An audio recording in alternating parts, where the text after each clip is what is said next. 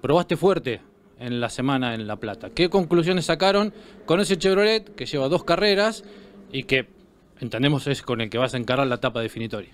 Eh, bien, bien, fue una prueba fantástica. Estoy muy contento con la prueba. Agradecido al JP porque arrancamos a las 8 de la mañana, paramos a las 6 de la tarde. No, no paramos un segundo, el equipo estaba re preparado para la prueba.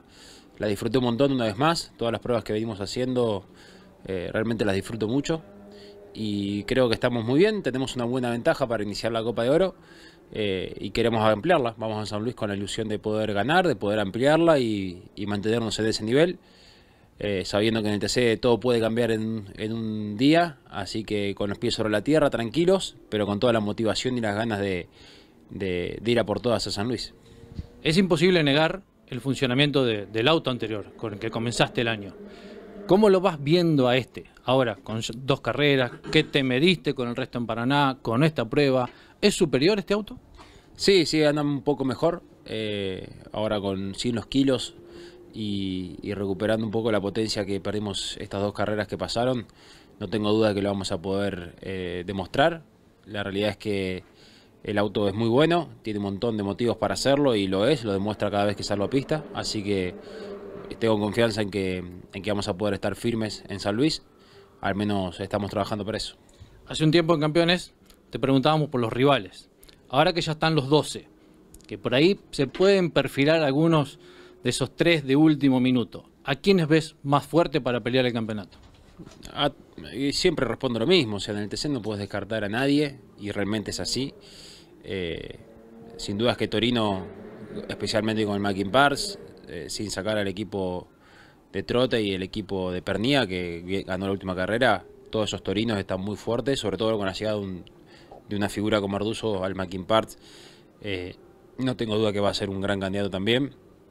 Eh, quizás ellos son los que más chances tienen por lo que demostró y, demuestra la marca en los, últimos años. Quizás este año se conjugó un montón de conjuntos que, que están demostrando lo que puede y lo que hace Torino que es lógico por el reglamento que tienen, que tengan mucho potencial, pero no, no hay que olvidarse de nadie, eh, no hay que descartar a nadie, fíjate cómo todo va cambiando. Eh, Ford fue la marca más ganadora el año pasado, ganó los últimos dos campeonatos y este año apenas ganó una carrera y, nada más. Entonces, eso te demuestra que el reglamento está totalmente parejo y, y que depende mucho más de los conjuntos y el momento que otra cosa. Cuando entras a la Copa y no ganaste, cosa que a vos este año no te está pasando, ¿Entra a correr diferente la, desesperación? No sé, eso va en cada uno, pero sin duda que se te achica el margen. Eh, me parece que, que sí, no es lo mismo estar en la Copa con victoria que sin victoria. Podés correr de otra manera. Eh, en mi caso, no voy a arreglar nada, voy a poner el 100% en cada vuelta que dé, pero con las victorias y con la ventaja que tengo, se corre de otra manera. A diferencia del 2017 que tenía que venir de atrás.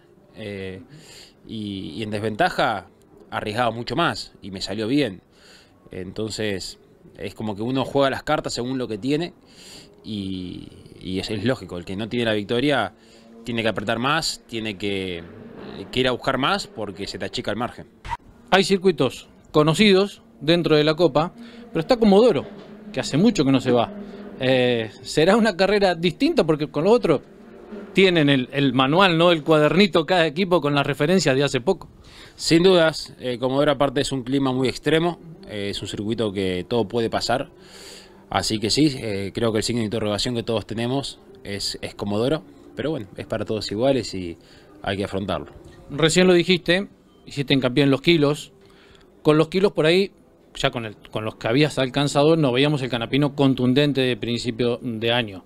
Sin kilos es un borrón y cuenta nueva para todos, ¿no? Sin duda, los kilos, como siempre lo digo, es, es lo peor que hay en el automovilismo, porque hace que, todo sea una mentira, todo, que, todo sea irreal, en todas las categorías del mundo, no en ninguna en particular.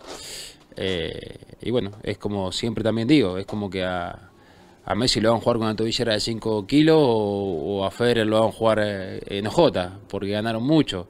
Lamentablemente en el automovilismo, sobre todo el argentino, se usa ese sistema para emparejar para abajo y, bueno, eh, es como que la gente ve algo que no es, real, no, está la, verdadera situación mirando una carrera, eh, como pasa en todas las categorías que se aplica a kilos.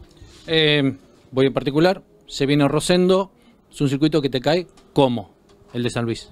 Muy bien, muy bien. El año pasado clasifiqué ahí entre los de adelante, salí segundo, una carrera que podría haber pensado en ganar. Decidí no ir a buscarlo a Mariano porque no quería ganar kilos justamente. Eh, no sé si lo hubiese ganado o no, pero fue una de las carreras que, elegí especular para evitar kilos. Y, bueno, es un trazado que el año pasado me trató bien, que me ha ido bien en, los últimos años. Es un lugar donde el Chevrolet eh, se pone más parejo con las otras marcas por una cuestión aerodinámica. Así que apostamos todas las fichas a San Luis. Y que por ahí es un tanto difícil el sobrepaso, ¿no? En todos lados es difícil el sobrepaso hoy por hoy. Eh, pero sí, es un circuito muy aerodinámico, entonces depende mucho del aire limpio y el que está adelante tiene una gran ventaja. Gracias, Canapino. A vos.